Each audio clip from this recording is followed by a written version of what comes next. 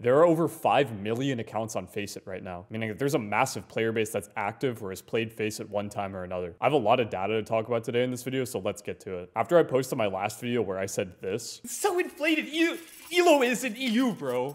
Teammates are so bad. An HLTV thread was made about this video talking about Elo inflation in general. Most people outside of Europe, including myself, believe that EU was quote unquote inflated in the traditional sense. For example, maybe a 3000 Elo player in EU is equivalent to a 2500 Elo player in NA or 2000 Elo Australian player. And since there's really no way of knowing without putting them all against each other, how would you ever really know except for looking at data? It's important to admit when you're wrong and change your viewpoint on something. So I found a way to abuse, I mean, responsibly inspect Faceit's front end API to read the ELOs for every single player on the site. I'm not going to say that I scraped the data, but I scraped the data. Before I talk about anything else though, here's a quick word from our sponsor. If you want a safe and secure way to cash out your skins in under five minutes, head on over to sellyourskins.com. Sellyourskins.com has over 150,000 users who have used the site already. All you have to do is click the Sell tab, select your skins, and use my promo code BIRD for a 5% bonus on your skins.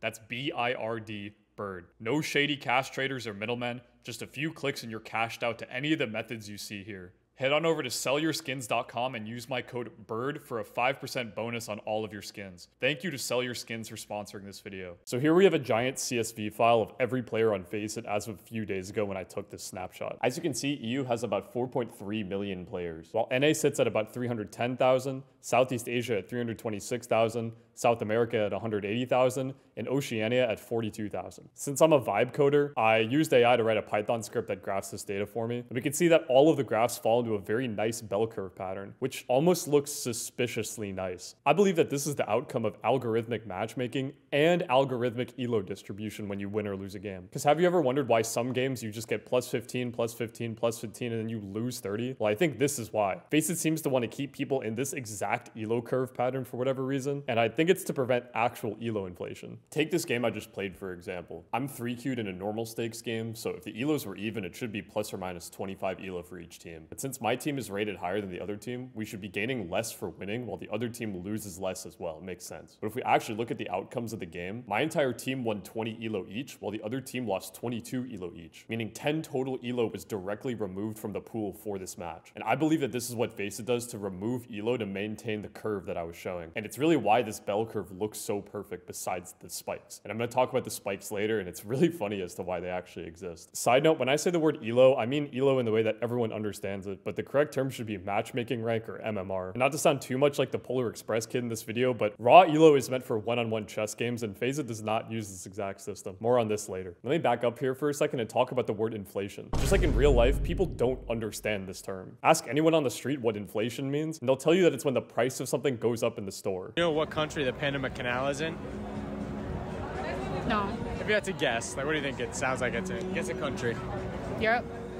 Yes. This is not true in the semantic sense of the word, as this effect occurring is a second order effect of monetary inflation or monetary debasement. They're the same thing. If we had a fictional tribe that used seashells to trade and they only had 100 of them, there'd be no inflation of the money because there's only 100 seashells and they just go between everybody. But if someone finds more seashells and they don't tell anybody and they just start spending them, suddenly there's more money floating around in the system, which leads to a higher demand for goods with no supply change, which in turn leads producers and traders and everybody in the economy to raise their prices because they just have to at this point because there's more money. The pie has changed its division between everybody, even though there's no more goods and services, there's just more money. When we talk about ELO inflation, however, there's a similar but unseen effect that's happening. For example, let's say we have a skill distribution and an ELO distribution. What we want from our system is for the skill and ELO to be perfectly aligned with each other, which would be pretty simple if the player base never gained or lost players, right? Because if somebody gets better than somebody else, they're just going to take their ELO and they're going to move up the thing. It's going to be easy. But if we have somebody new join the platform at any given moment for the first first time. There's no telling where on this skill graph they're actually going to fall. They could actually be as skilled as a boiled potato, or they could be the second coming of Kyosuke with 200 hours. I'm just going to say there seems to be an influx of the second kind of player recently, and I really wonder why that is. So let's take the more impactful example and assume someone joins the platform who really should be 400 elo,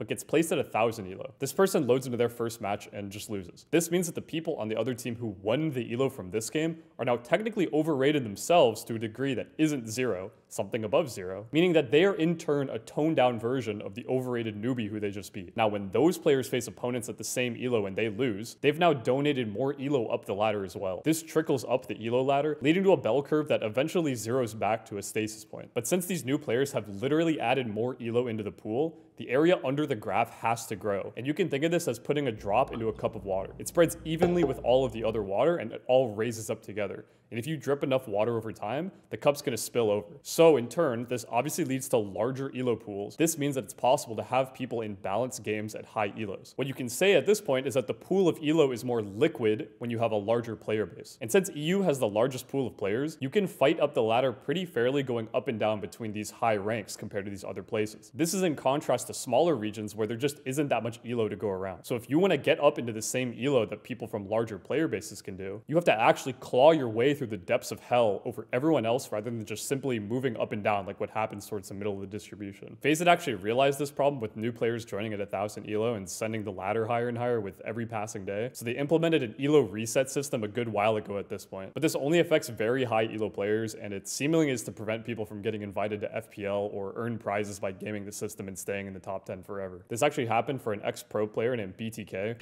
I'm I'm blind. I'm blind. I'm smoked off. I can't see. I can see. I don't see them. I see him. I'm behind them. Don't shoot. Shoot. Flash. Don't flash. Me, sometimes when I play people, I don't hear none of this thing. Sometimes it's just.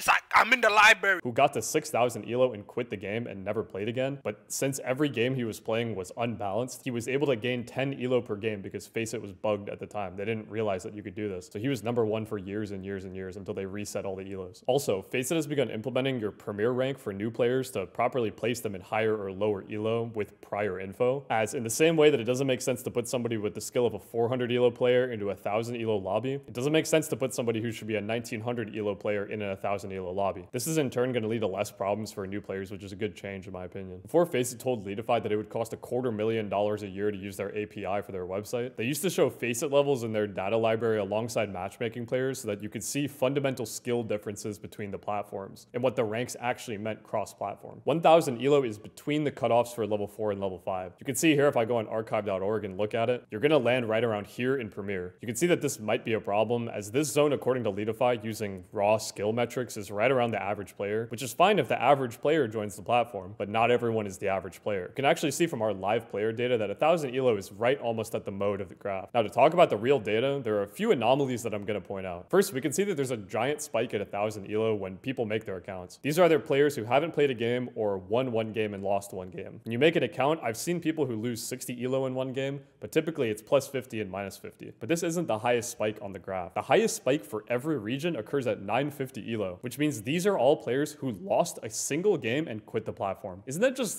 hilarious to see in the data? I think it's so funny. You can also see people going on win-loss streaks from the other peaks. There's a peak at 900, 850, and so on. There are also a lot of people at 100 ELO, but not as many as you think. 100 ELO is the lowest ELO you can possibly be on FACEIT, and there are way more level 10 players than 100 ELO players in every region. So hats off to you if you can make it down to 100 ELO because it's rarer than being level 10 by a long shot. There's also a weird bump out here at 2000 ELO, and at first I thought this was due to ELO resets not going below 2000, but then I realized that this bump exists on top of the normal ELO curve. You can see it resume if we draw a line from the existing data. This bump is literally all a bunch of ladder anxiety players sitting at level 10 claiming that they're quote good at the game by being level 10. I hate to tell you guys, but a lot of people see 2000 ELO players as barely consisting as human beings, and everyone from 2.8k to 3500 is still bad. And I guess the only good people at the game are in the top 50, but they call each other bad too. Welcome to FACEIT where everyone's friendly and loves each other. What's also interesting is to zoom in on the data and look at the top 10,000 for each region. To no one's shock, EU's top 10,000 is much higher than the rest, while Southeast Asia and NA match up almost identically due to their very close player base count. We can unsurprisingly see South America and OCE lag behind due to their lower player counts. What's also interesting is to take the player count of NA and divide it by the EU player count to get a scaling ratio of players to see if graphs are equivalent across regions. And to my surprise, they literally match up almost identically. It's kind of scary. This is most definitely because of algorithmic matchmaking and FACEIT just soft elo resetting all the time because there's no explanation for this being the case without that being true. You can see even if you do this to the EU player count, there's still a lot of players filling in the gaps of NA, so to speak. But this is to be expected as the NA player count has noise since we didn't alter it at all. And the EU scaled player count is smooth, so